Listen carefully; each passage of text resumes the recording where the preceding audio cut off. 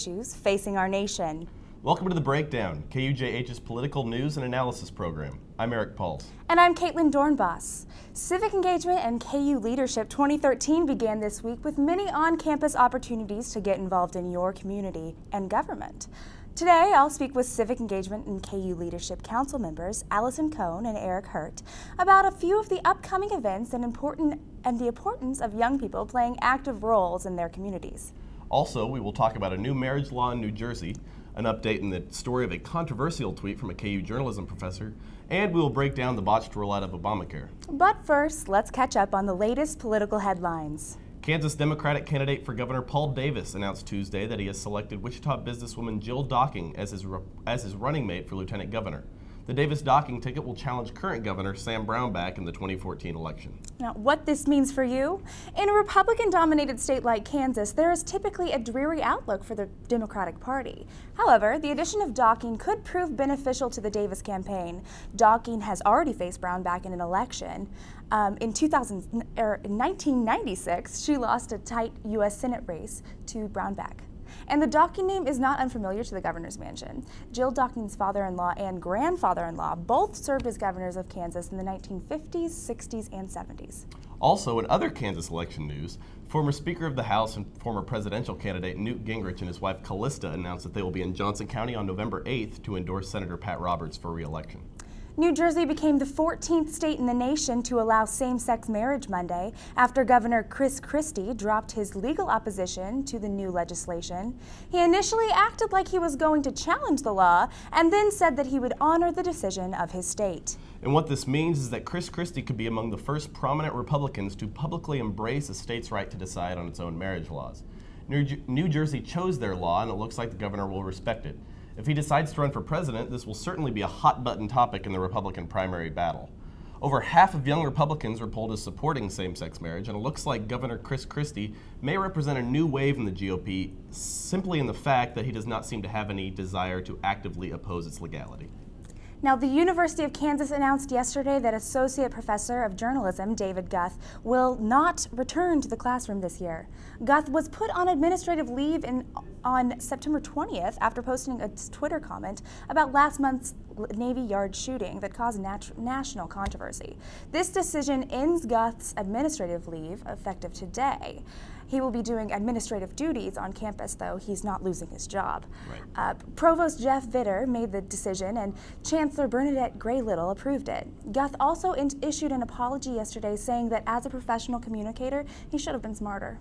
And what this means for you is that Guth was already going to be on a sabbatical next semester and would not have been in the classroom, so it will not affect KU journalism students next semester. Guth's tweet last month sparked a lot of controversy, and it looks as though this decision should end the university's comments on this matter. Now, this Wednesday, Kansas legislators will be on campus at KU. After Guth's tweet, some lawmakers were calling for his resignation, and now with the university's decision to keep him, it could be an interesting conversation in regard to the budget to watch for next week. Now, moving on to today's big breakdown issue the botched rollout of the Affordable Care Act, or Obamacare. Now, I don't think anyone expected the first few days of the Obamacare rollout to be perfectly smooth and problem free. However, I imagine very few in the Obama administration and really in Congress expected what would actually happen. Now, the website to sign up online, healthcare.gov, has had major technical malfunctions. Some of this is blamed on the administration using multiple contractors for different facets of the website that are not now compatible. Still, anytime something new is created in government or in life, there's going to be something wrong. When Medicare was rolled out, no one thought it would work. Now ask your grandma what she'd do without it. And others contribute the problems to the high volume of visitors to the website. However, some states have disputed this argument, saying that they have seen low numbers. Even some states saying less than 100 people have signed up for the program. Former White House press secretary for President Obama, Robert Gibbs, called it, quote, excruciatingly embarrassing for the White House.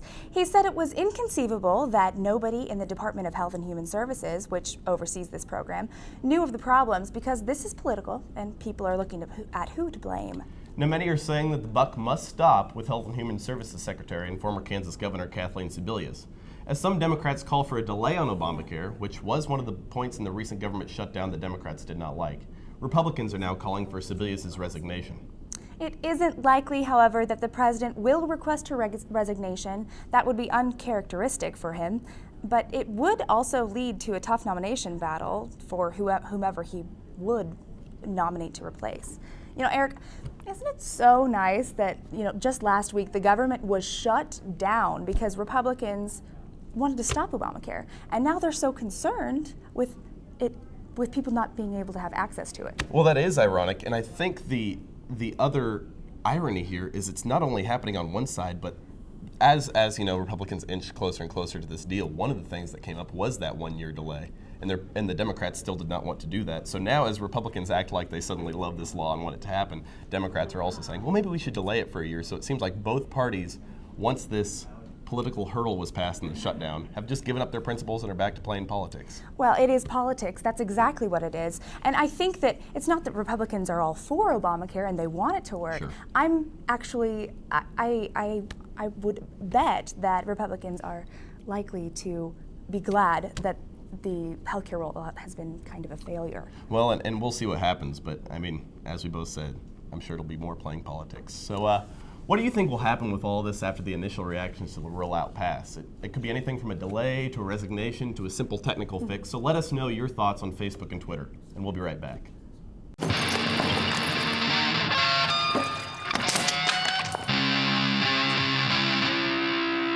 That sounds awful, but a lot better than last week.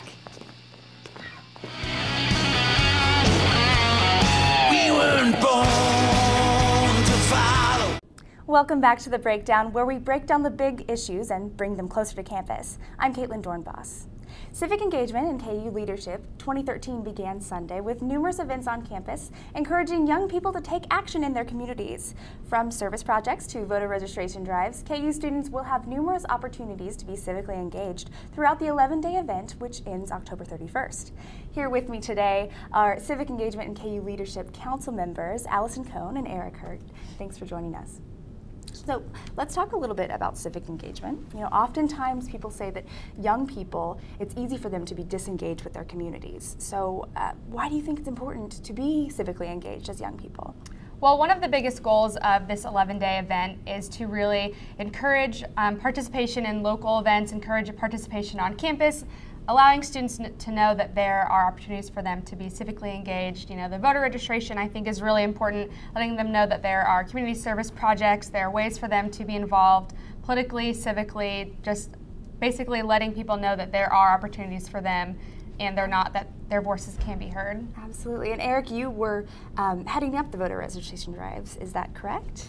Definitely. I think it's, it's very important to kind of bridge the gap between government and uh, them registering for, for voting because a lot of people uh, told me that they're very intimidated with the process, but it's a very easy process and everybody's been pretty much happy about how it's going. Now, can you take me through that process? I know um, after some of the voter registration laws have changed, um, can just any student sign up? Yeah, if you uh, live in Lawrence, you're actually uh, uh, considered a resident of Kansas, so you can register here even if you're from another state as long as you live here. Mm -hmm. And then once that happens, if it's your first time registering, you have to prove your U.S. citizenship. And Douglas County is very good at that. They send out letters, and actually, I turned in. Um, registration forms and they send out the letters like the next day, so they're very efficient. Now, how much uh, voter registration forms have you turned in so far? We have turned in, I think, approximately 146, which wow. is a very good number, seeing that it's an off year and not a presidential election. So absolutely. So, um, can you tell me about a couple other events that are going on with civic engagement? Definitely. Um, well, the committee, the planning committee for civic engagement and KU leadership, one of our biggest projects um, is in coordination with Make a Difference Day, and that's October 26th, so this coming Saturday. Um, throughout the rest of the month and throughout um, throughout November, we are collecting money that will be used towards um, purchasing gloves and hats and other like warm weather necessities for local kids in Lawrence. Um, it will be also in coordination with the Harvesters Back Snack program. So these are going to be gloves and hats and scarves that are going to, you know, the children that are most in need of these things, especially going into the winter. And, you know, they're going to need these things, and it's something, you know, kind of in, encourage participation on campus and let students know that they can, you know, help us out with this project as well. So we're trying to make it campus wide. Right, exactly. Uh, well, and that brings up an interesting point. You know, civic engagement, I think a lot of people just think that it's political, but um, it sounds like it can also be helping your community in general. Um, what do you think civic engagement um, means to you. Do you do it in your free time? uh, well, in my free time, maybe in my free time, I'm usually like drinking coffee and maybe thinking about civic engagement. Um, but I think that it's something that we can, you know, add to our daily lives. I think it's definitely much more than just playing party politics. I think it's a lot more than saying I'm a Democrat, I'm a Republican. Um, I think it's really focused around giving back to your community and leaving it better than when you got there. And I think it's definitely about um, you know supporting others and supporting the other organizations in your communities and you know things like the Harvesters Back Snack Program and you know other different things on campus like Jubilee Cafe was one of the things that we were promoting with um, KU Leadership and Civic Engagement Week. Um, so I think it's all about just giving back to the community and you know building communities and making it a better place to live. Absolutely. And um, the political side as well, it's easy for students not necessarily to know much about their government. I know the Dole Institute has a couple of events that are, um, along with KU's leadership and civic engagement, uh, teaching people about their political process. How much uh, do you know about um, the political process? I know, Eric, you go to um, civic or the council meetings, the city council meetings, sorry. Yeah, definitely. Um, city council meetings are where a lot of the nuts and bolts kind of like city running is, is where it happens. Right. And a lot of people don't pay attention to it and it's sad because I feel like we pay more attention to the national government, but these city commission meetings are where things actually affect you like once they're enacted a lot quicker. And we have like the rental registration thing coming up and that's uh, an ordinance that's trying to ensure that a, a good representative sample of uh, Lawrence uh, real estate is safe for students and renters. Now, when is the city council meeting? They are every Tuesday at 6:35, and they're not. It's not going to be this Tuesday because this would be the fifth Tuesday, so it's every four Tuesdays. Okay, so a week from then. Yes. That's excellent. So maybe some students will check that out and be civically engaged in their communities. I wish you the best of luck with civic engagement KU Leadership 2013. Thanks for joining us, and we'll be right back.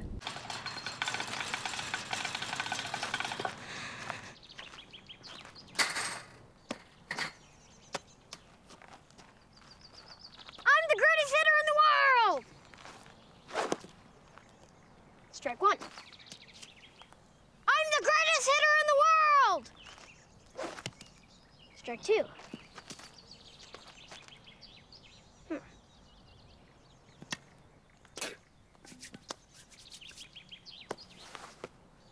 I'm the greatest hitter in the world!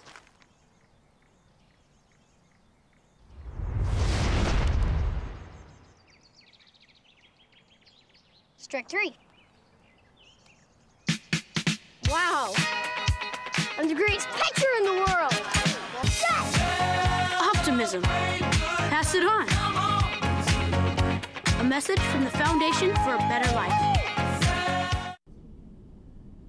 And that's all for this week. We appreciate you tuning into the breakdown. Join us again next week for more political news and analysis at 11 a.m. on Friday. Remember to like us on Facebook at The Breakdown KJH and follow our tweets at Breakdown KUJH. If you are interested in becoming a political correspondent for The Breakdown and you are a student at the university, send an email to breakdown.kujh at gmail.com.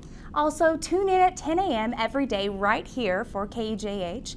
Good Morning America, Good Morning KU, and 6 and 6 p.m. on Tuesdays for Jayhawk Sports Report. I'm Caitlin Dornbos. And I'm Eric Pauls. See you next week when we break down the nation's big issues.